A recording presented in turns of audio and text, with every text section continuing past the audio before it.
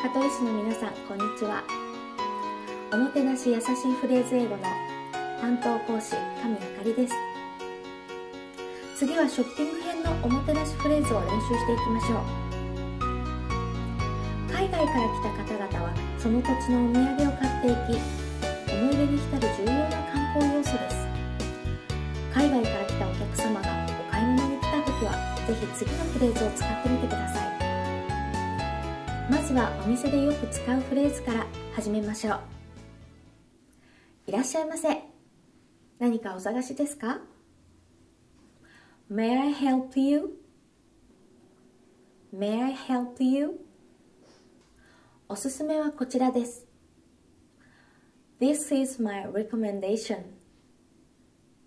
This is my recommendation 次のフレーズは使う機会がたくさんあると思います少々お待ちください Please wait a second Please wait a second またお越しください Please come again Please come again お支払いは現金ですかカードですか Do you want to pay by cash or card? Do you want to pay by cash or card? お値引きはできません。There is no discount. There is no discount. もしお値引きができる場合は、お値引きはできます。There is discount. There is discount となります。海外では市場などで買い物をするとき値段交渉するのは通常のことですのでもし観光客から値切られても嫌だなと思わないでくださいね。この何々は使いません。This 何々 is unusual. This 何々 is and usable 消費税が含まれています tax included tax included 消費税が含まれていません tax excluded tax excluded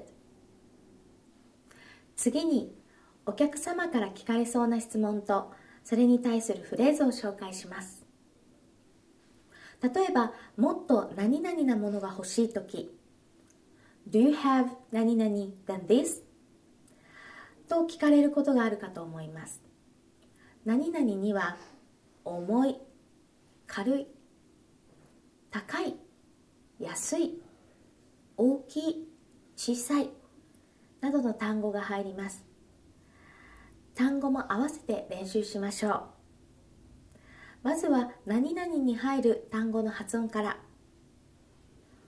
重い heavy heavy 軽い light light 高い expensive expensive 安い。cheap cheap 大きい。big big 小さい。small small これらを入れて文章で発音してみましょう。今発音した単語は何々よりと言いたい場合、単語の後ろに er がつきます。ですが、expensive のように文字数が多いものは er をつけず、単語の前に more をつけて話す場合があります。もっと重いものはありますか？Do you have heavier than this? Do you have heavier than this? もっと軽いものはありますか ?They have lighter than this? Do you have lighter than this? もっと高いものはありますか Do you have more expensive than this? Do you have more expensive than this? もっと安いものはありますか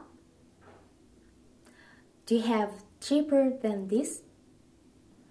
Do you have cheaper than this?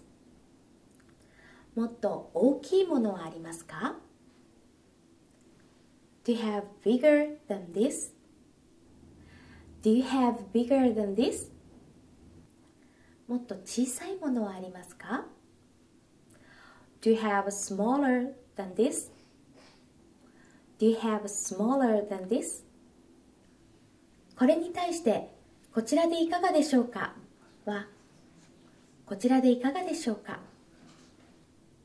？How about this? How about this? 続けると Do you have cheaper than this? How about this? となります次に試食や試着をしたい時の表現ですこれを試食できますか？Can I taste this? Can I taste this? 試着の場合は着るという try to wear という単語を使ってこれを試着できますか Can I try to wear this? Can I try to wear this? となりますこれに対してできる場合はどうぞ Here you are Here you are できない場合はすみませんできません Sorry, we cannot do that Sorry, we cannot do that となります続けていってみましょう Can I test this? Here you are Can I try to wear this? Sorry, we cannot do that. となります。次に場所を尋ねる表現です。トイレはどこですか？とこのお店は何のお店ですか？という表現を紹介します。トイレはどこですか？Where is bathroom? Where is bathroom? トイレはこちらです Bathroom is here Bathroom is here ここは何のお店ですか What do you sell in this shop? What do you sell in this shop? ここは何々のお店です This is a 何々 shop This is a 何々 shop. 何々には例えばレストランなら restaurant. 洋服屋なら clothing shop などが入ります。タクシーを呼ぶ時の表現を紹介します。タクシーを呼んでください。Please call a taxi for me.